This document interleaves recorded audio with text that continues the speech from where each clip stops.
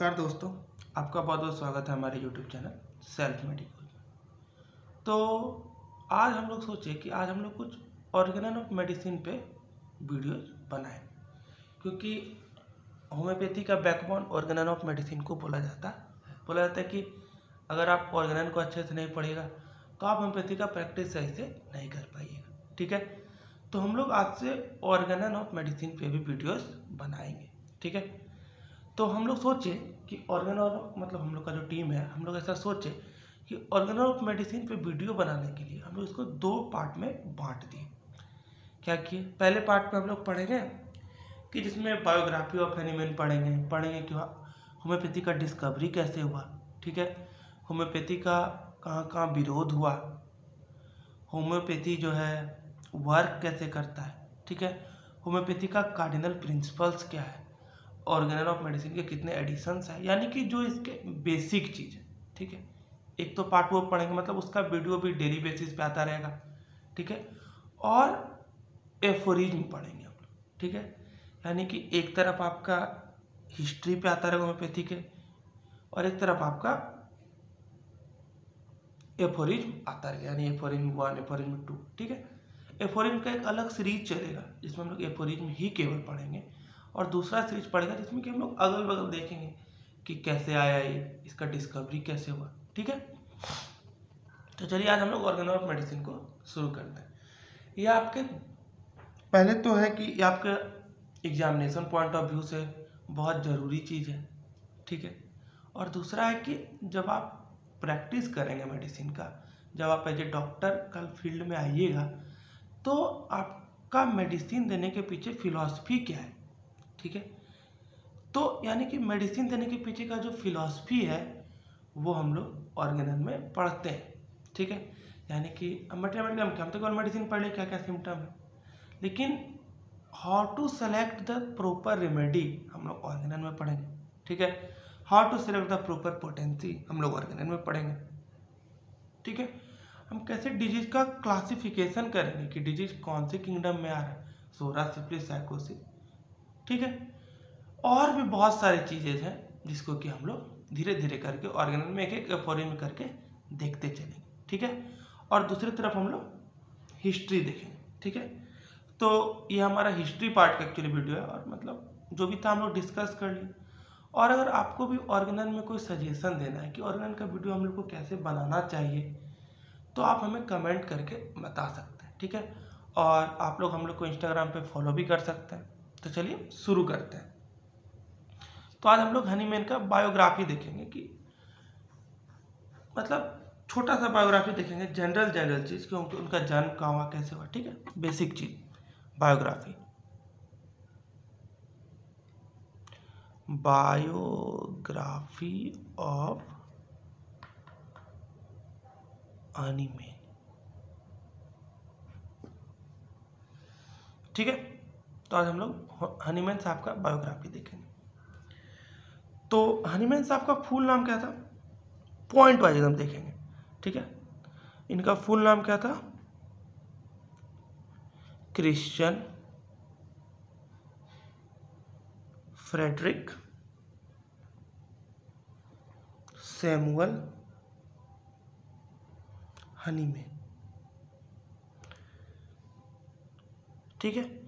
तो डॉक्टर हेमन का full name क्या था? Christian Friedrich Samuel Hahnemann. और हाँ अगर आप लोग को नोट्स भी चाहिए होगा तो आप हम लोग को इंस्टाग्राम पे मैसेज कर सकते हैं नीचे से। और इंस्टाग्राम पे मैसेज कीजिएगा तो हम लोग आपको नोट्स भी प्रोवाइड करा देंगे, सारे सब्जेक्ट का। और इनका डेट ऑफ़ बर्थ क्या था? डी भी इनका था tenth April seventeen fifty five tenth April को हम लोग वर्ल्ड होम्योपैथी डे भी मनाते हैं। ठीक है? तो इनका डेट ऑफ़ बर्थ कब था? Tenth April seventeen fifty five और इनका हुआ कहाँ था? प्लेस कहाँ पे था भाई? प्लेस ऑफ़ बर्थ तो क्या था? At Meissen in Saxony of Germany ठीक है? जर्मनी देश है, सबको पता है। तो जर्मनी देश के, सेक्सोनी शहर के एक मिशन मिशन मतलब वहाँ जो होता है, गाँव को वहाँ पे मिशन बोला जाता है, ठीक है? तो वहाँ के गाँव में, जर्मनी के सेक्सोनी शहर के गाँव में इनका जन्म हुआ था, ठीक है? कब? टेंथ अप्रैल 1755 और क्या थे? He was the third children of the family ठीक है? यानी अपने परिवार के केमा बच्चा थे? तीसरा बच्चा थे। He was the third child of his family ठीक है?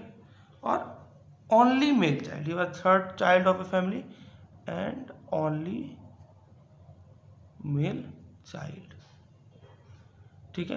यानी अपने माता पिता के तीसरी संतान थे और इकलौते बेटे थे अपने घर में। ठीक है? और सारे इनके घर में क्या थी? बेटियाँ ही थी। इनके पिताजी का क्या नाम था भाई? इनके फादर्स का नेम था Christian Gottfried Hahnemann. Christian Gottfried Hahnemann. ठीक है? और इनके पापा करते क्या थे? ही वॉज़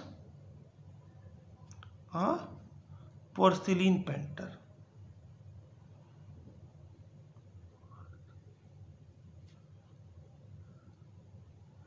यानी जो पोर्सिलीन का जो बर्तन बनता था ना उस पर वो पेंटिंग करते थे। ठीक है? पोर्सिलीन मतलब चीनी मिट्टी चीनी मिट्टी का जो बर्तन होता था उस पर वो पेंटिंग करते थे, कलाकारी करते थे। तो उसे कहते थे पोर्सिलीन के पेंटर्स का। यानी कि इनका जो बचपन था, वो बहुत गरीबी से गुजरा था। ठीक है? और इनकी मदर्स का क्या नाम था? जोहाना।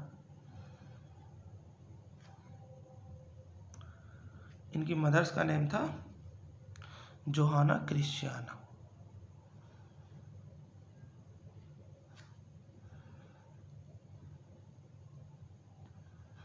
इनकी मदर से क्या नाम था? Johanna Christiana. ठीक है? इन्होंने दो शादी की थी। ठीक है? इनकी मैरिड देखा जाए तो इन्होंने दो मैरिज किया था। फ़र्स्ट दो मैरिज था इनका फ़र्स्ट जो मैरिज था, उनमें इसका कब किए थे? सेवनटीन नवंबर। सेवनटीन एट्टी टू, सत्रह नवंबर सेवनटीन एट्टी टू में ही पहला शादी किए थे। और इनकी वाइफ इनसे नौ नाइन ईयर यंगर थी, ठीक है? नौ साल की इनसे छोटी थी his wife was nine years younger. ठीक है? नेम क्या था उनका? Johanna.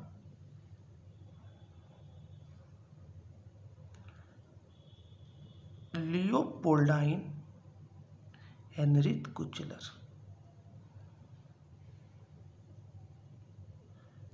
Henriette Kuchler. ठीक है? इनका वाइफ का क्या नाम था? फ़र्स्ट वाइफ का जोहाना लियोपेड ने हेनरिते कुचलर ठीक है? फ़र्स्ट वाइफ से इनको टोटल इलेवन चिल्ड्रन हुआ था। और इनकी फ़र्स्ट वाइफ का डेथ कब हो गया था? Thirty first March eighteen thirty ठीक है? Thirty first March eighteen thirty में इनकी फ़र्स्ट वाइफ का निधन हो गया, ठीक है? उसके बाद चार साल तक इन्होंने कोई, चार साल तक इनकी जो बेटी थी, वही इनका ख्याल रखते रहे। उसके बाद चार साल के बाद इन्होंने सेकेंड मैरिज कर लिया। कब? सेकेंड मैरिज इन्होंने कब किया? तो एट्थ ऑफ़ अक्टूबर 1834 ठीक है? नहीं सॉरी एटीन एट अक्टूबर 1834 को इनके पास एक रॉयल फैमिली की आर्टिस्ट आई पोइट्रिस पोइट्रेस थी, जिनका नाम क्या था?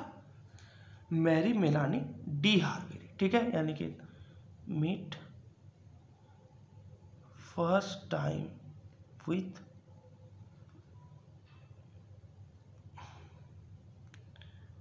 Marie Melanie de Hervilly, ठीक है? मेरी डी हार्वेली से फ़र्स्ट बारी एट्थ अक्टूबर 1834 में मिले और इनके पास चूँकि स्किन का अपना इलाज कराने के लिए आई हुई थी। तो इस पोर्ट्रेस को जो ना, डॉक्टर एनिमन बहुत ही पसंद आए। इनका व्यक्तित्व इनको बहुत ज़्यादा प्रभावित कर गया और 80 साल की उम्र में हनीमैन दूसरी शादी की ठीक है? कब किए तो फ़र्स्ट जनवरी 1835 को ये मैरिज कर ली, ठीक है? तो मैरिज के समय डॉक्टर हनीमैन का उम्र कितना रहा था 80 इयर्स जबकि इनकी वाइफ का उम्र मात्र 35 ईयर ही हो रहा था, ठीक है? तो आज के वीडियो में इतना है कि बहुत ज़्यादा बड़ा वीडियो हो जाएगा। फिर हम लोग अलग अलग सेगमेंट में अलग में देखेंगे। जैसे अगले वीडियो में हम लोग इनके एजुकेशन के बारे में पढ़ेंगे। फिर इनका प्रोफेशनल लाइफ कैसा रहा, वो पढ़ेंगे आगे। ठीक है? धीरे धीरे सेगमेंट्स में इसको पढ़ते जाएँगे। ठीक है? तो थैंक यू दोस्तों। फिर से अगले वीडियो में मिलते हैं। धन्यवाद।